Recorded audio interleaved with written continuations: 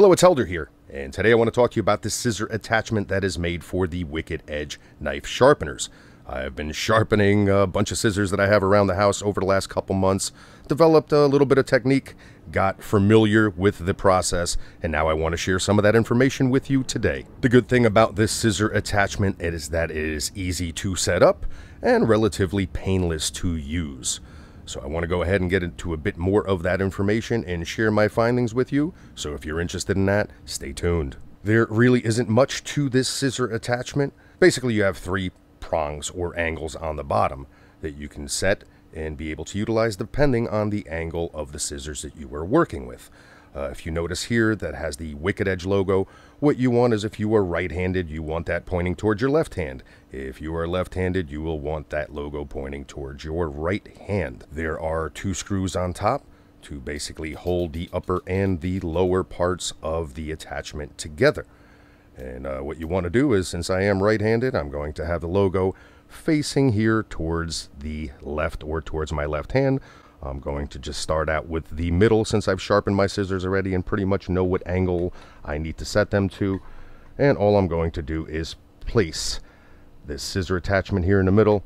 Go ahead and tighten down the vise. And I am pretty much good to go and set up and ready to begin sharpening. Okay, so I have uh, an inexpensive pair of scissors here, but they do get used a lot.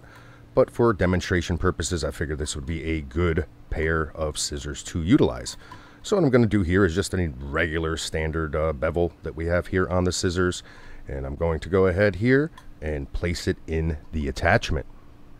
Once it's in the attachment, I'm going to go ahead and tighten down that first screw. And I'll go to the back here and tighten down that back screw.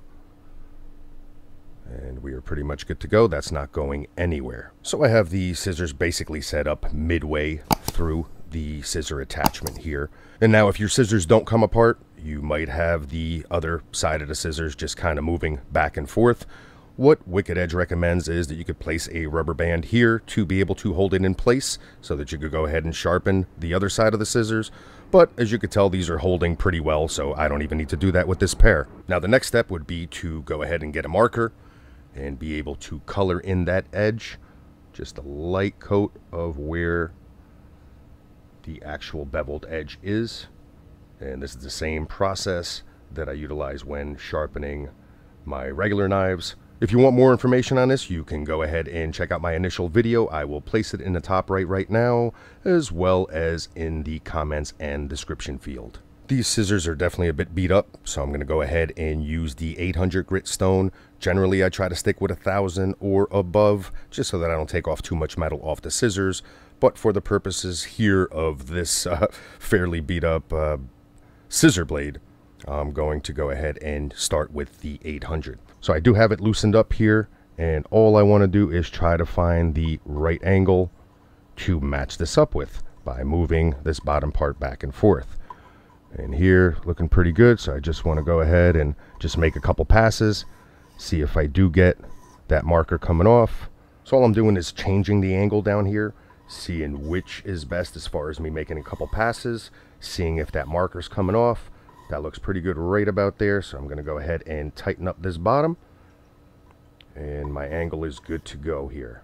As you can tell the marker that I put on on the edge is coming off and coming off nice and evenly. So now I'll basically just keep working this angle, making some passes up and down, getting the marker completely off, and basically looking to find a burr underneath. It's definitely getting there. A few more passes. A little bit more.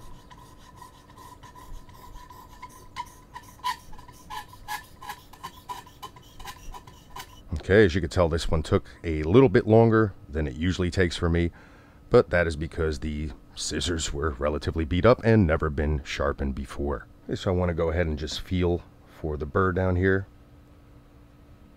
And I'm definitely feeling that. Now what I want to do is go ahead and change that around and use the thousand grit stone and just make a few passes over the blade with it. Always be aware, safety-wise, of the other blade being right here. So I kind of just try to keep my fingers away from it.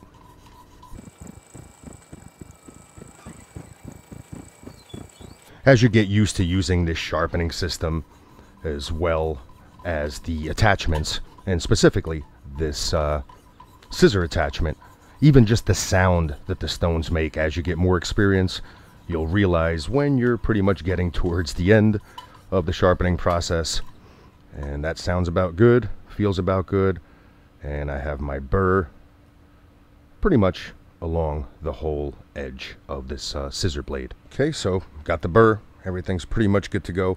And what I do want to show you is how I showed you that there was, uh, or in the beginning, we went over the three notches that this has. Okay, so, so to be able to, let's say, take this apart, I'm to go ahead and loosen the back screw, loosen the front screw, pops right out. So as you can tell, this has a relatively standard edge on it as far as being able to sharpen, but other scissors might be a little bit rounded or more contoured, and that is why there are the different options here. So in case you need to tilt it forward, tilt it back, it does give these options. I did place it in the middle, but now if you need it to go forward, you would place it on that angle. If you need it to be up a little bit more, you would place it on that angle.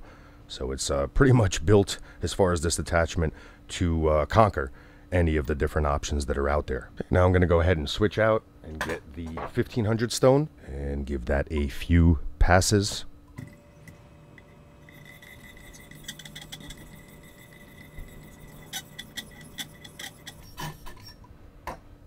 Okay, go ahead and feel for that burr. Feeling good. Definitely there. Next up, I'll be using my 0.6 micro fine ceramic stone. And when I use the ceramic stone, I like to just go up and down with it.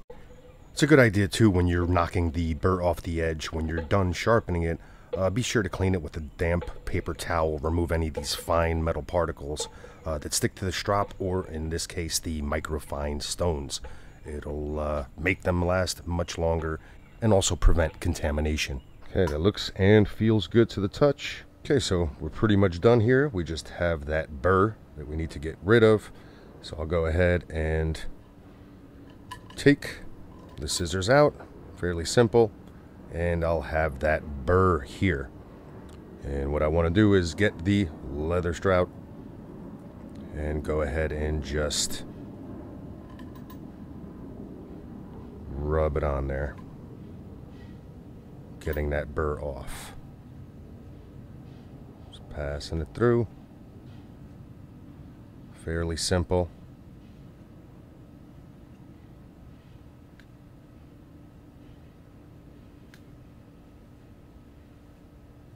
There we go. And that burr is now gone.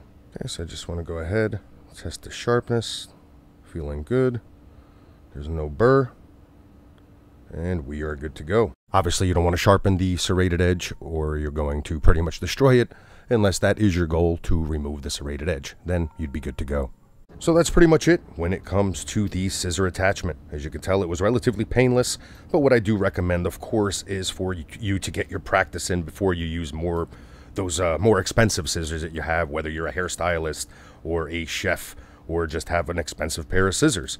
Uh, go ahead and grab the cheaper that you have uh, scissors that you have laying around the home or the office get your practice in utilize the marker so that you can get the edge and uh, eventually over time it just becomes uh, second nature.